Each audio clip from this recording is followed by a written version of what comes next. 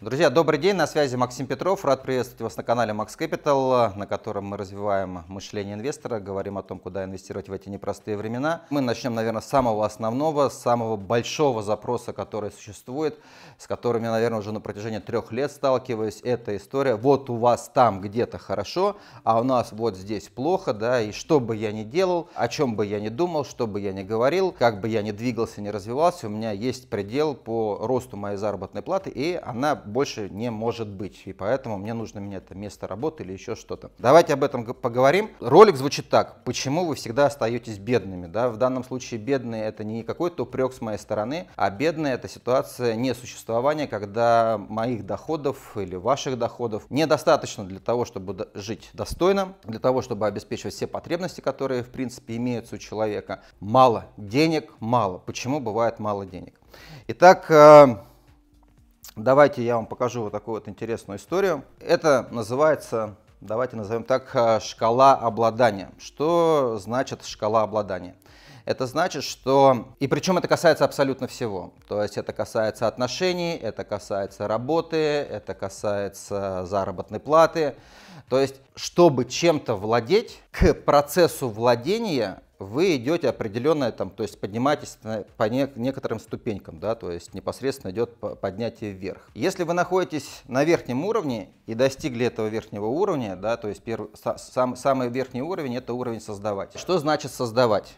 Если вы можете создавать глиняные горшки или фарфоровые горшки, тонкий, высококачественный, дорогой фарфор, одна ваза стоит там очень много денег. Ладно, не вазу. У меня была одна знакомая, она сделала великолепную куклу. То есть просто кукла из фарфора стоит там несколько миллионов долларов, да, то есть э, в Дубае. И получается, человек, который покупает эту куклу, она для него цена он не может ее создавать. И если она разобьется, он ее потеряет или ее украдут, да, то он будет по этому поводу переживать, потому что он не может ее создать. При этом сам творец этой куклы, да, он будет очень легко относиться, господи, да подумаешь, я создам еще одну, еще одну, еще одну и непосредственно продам. И поэтому, когда мы находимся на уровне создавать, это касается денег в том числе заработной платы, то все остальное внизу, да, то есть делать вклад, конфронтировать, иметь, растрачивать, заменять, оно имеется априори. Давайте еще раз объясню. Да?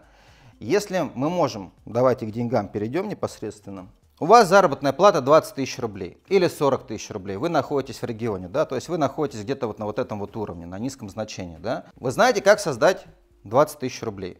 Соответственно, все, что ниже этого уровня находится, вы понимаете, за счет какого вклада, какой вклад вы вносите для того, чтобы заработать 20 тысяч рублей. Вы к доходу в 20 тысяч рублей, что такое конфронтировать? Конфронтировать, это, знаете, это некий такой ровное дыхание. Ровное дыхание на уровне того, что вы знаете, как сделать 20 тысяч рублей, они не составляют для вас какой-то избыточный потенциал, вы не тревожитесь по поводу того, что, не знаю, например, купить там еду какую-нибудь, зайти в магазин и оставить в магазине, там, я не знаю, в продуктовом, тысячу рублей или две тысячи рублей. То есть для вас это нормально. 2000 рублей оставить. Но если мы говорим, что вам нужно зайти в какой-то премиальный магазин и примерно тот же самый набор продуктов, но премиальных, например, вы за него отдадите уже не 2000 рублей, а 4000 рублей, вы уже не конфронтируете, для вас это ненормально, для вас эта история связана с тем, что перебор, come on, да, то есть я то же самое молоко в пятерочке покупаю за 80 рублей литр, почему я должен в реальном а, магазине за то же самое молоко платить более высокие деньги, да, то есть у вас получается некий идет отсутствие конфронтирования. То есть вы к этому относитесь уже неспокойно, и у вас как-то немножко начинает трясет. Почему? Потому что вопрос иметь.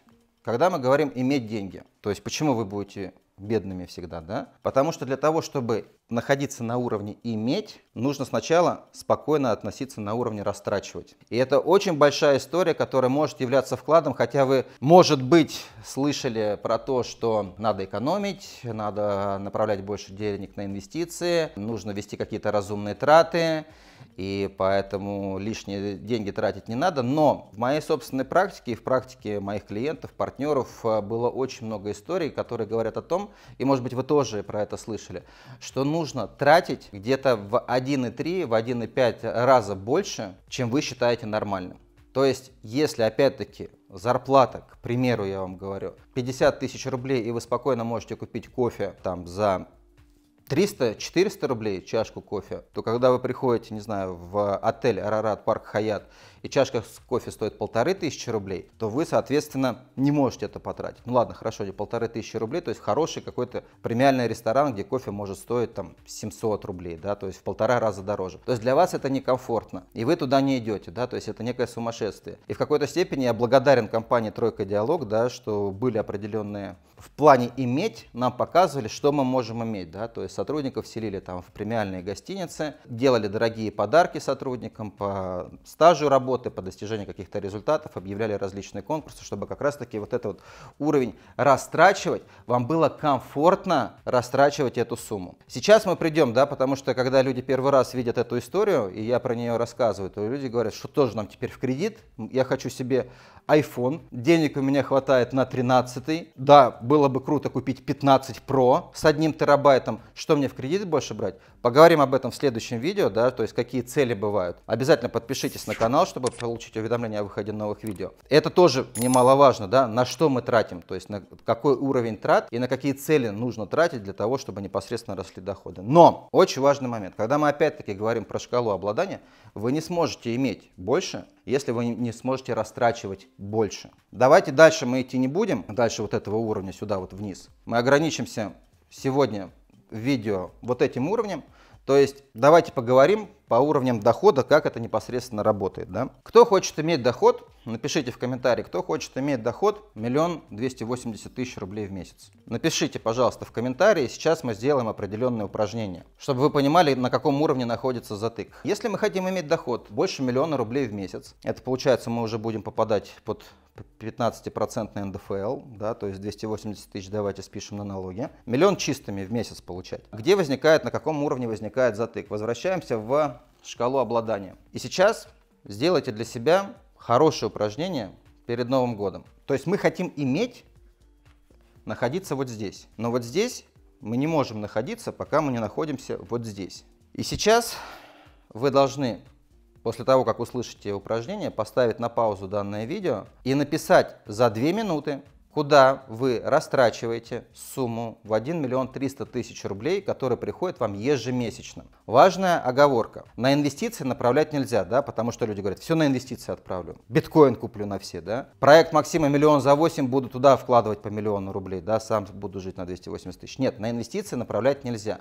Покупать квартиру в ипотеку нельзя. То есть вопрос растрачивать. Потратьте сами, миллион триста тысяч рублей на себя. Куда вы их будете тратить? И с чем вы в этом случае столкнетесь? Ну, поставьте на паузу и сделайте таймер, что вы за две минуты, куда вы распишите прям ежемесячные траты, куда вы тратите миллион триста тысяч. Пауза и упражнение. Я тоже попрошу сейчас, чтобы у нас был такой дистанционный мастер-класс, абсолютно бесплатный, да, Напишите в комментариях просто, получилось потратить или не получилось. На каком уровне возник затык. Затык возникает на уровне того, что человек не знает, куда он потратит такую сумму денег. И он начинает подсознательно избегать этого. И когда люди говорят, особенно молодые, амбициозные люди, спрашивают, сколько тебе нужно денег, какой тебе нужен уровень пассивного дохода, каков уровень твоей финансовой свободы, то у них возникает затык. Как раз таки затык у них не возникает. Они говорят, хочу миллион, хочу 5 миллионов, хочу миллиард. При этом у него зарплата там 30, 40, ну 100 тысяч рублей может быть. И мозг сам по себе не готов. То есть он вроде бы хочет эти деньги, но куда он потратить, он их не знает. И самое главное, это еще и страшит. Почему страшит? Потому что не может растрачивать эту вещь, не может терять, и для него эти деньги чрезмерно важны. Люди, которые теряют деньги даже на инвестициях, они теряют, как правило, да, кто боится потерять, выбирает консервативные инструменты. Инструменты денежного рынка, депозиты. И это получается так, как долгосрочно доходность этих инвестиций не покрывает инфляцию, они ее теряют. И они боятся потерять, они боятся растратить эту вещь. И так как этого, соответственно, нет, они не могут иметь. А если они не могут иметь, они не могут к ним относиться спокойно, конфронтировать. Они могут относиться спокойно, конфронтировать, они не могут делать вклад. И, соответственно, они не могут создавать. И поэтому нужно проходить вот этот путь снизу вверх. Да? И здесь просто ставьте для себя цель, например, у вас сейчас есть определенный уровень дохода, 15 тысяч рублей, 30 тысяч рублей, 50, у каждого свой. Не надо сразу хотеть очень много, но при этом цель должна быть достаточно амбициозной, связанной с тем, что, например, увеличить доход в два раза. Что вы тогда должны изменить? Вы должны изменить то, что вы должны и жить на этот уровень дохода. Я вам больше скажу, люди, которые выходили, выходят на определенный уровень дохода, не знаю, как у меня это, например, было, да, я, то есть в тройке диалог, когда был директором филиала, у меня заработная балата была где-то в районе 250-350 тысяч рублей. После этого меня перевели в Сбербанк с сохранением заработной платы, после чего я уволился из Сбербанка. Но так как я знал, каким образом создавать эти деньги, этот уровень доходов в 2012 году, то, соответственно, у меня не возникло больших трудов, даже уйдя с наемной работы, даже потеряв основную часть своего капитала, восстановить этот доход, активный доход, восстановить в течение года. Почему? Потому что по шкале обладания я понимал, каким образом я могу это создавать. И вот это вот все было автоматически. Каким образом я выходил на более высокий уровень в своем активном доходе, опять-таки поднимаясь вот сюда по этой лестнице. Вопрос растрачивать, идти туда, где некомфортно. У логиков, да, у людей, у которых хорошо развито логическое мышление, это все понты, это наносное, это не нужно. Речь не про понты, речь про то, что нужно идти в расходах гораздо на более высокий уровень, потому что тогда это даст энергию для того, чтобы достичь более высокого уровня активного дохода, вы придете непосредственно к создавать. Что ж, друзья, мы поговорили о шкале обладания. Более подробно и широко это отдельный урок в школе развития Максима Петрова, где мы проходимся непосредственно по всей шкале, где как раз таки проводится большое количество практик, связанных с тем, чтобы выйти на вот этот более высокий уровень обладания. Информацию о школе развития можно получить по ссылочке ниже. Проходите, смотрите, возможно, вам будет интересно стать учеником в этой школе развития для того, чтобы более круто и качественно в 2024 году проработать эту тематику. Ну а в следующем видео давайте поговорим о том, какие бывают уровни целей, к чему они приводят, как мы их непосредственно ставим и как я лично ставлю свои собственные цели для того, чтобы в следующие 12 месяцев достичь как можно большего количества целей, что мне в этом помогает. Друзья, еще бывает так, что это называется, ну, кто-то это называет такое понятие, как э, уровень нормы.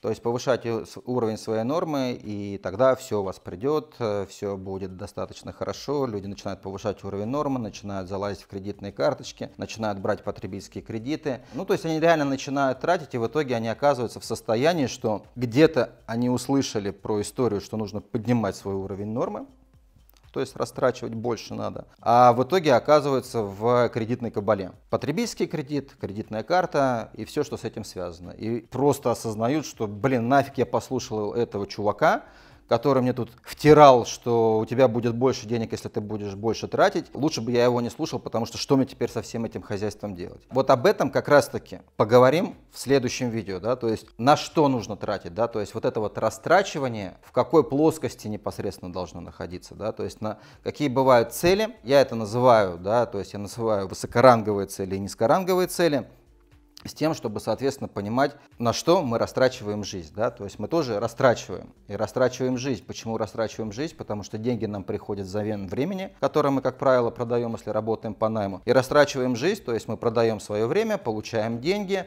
Потом пришел Максим, тут понаобещал на Новый год, что вот тратьте больше, и, соответственно, у вас будет денег еще больше. Взяли, потратили, а денег больше не стало. У меня увеличилась кредитная нагрузка. Стоимость кредитования за этот год выросла, потому что ЦБ повысил процентную ставку, и теперь не нужно нужно выплачивать долги. Встречаемся в следующем видео буквально через пару дней.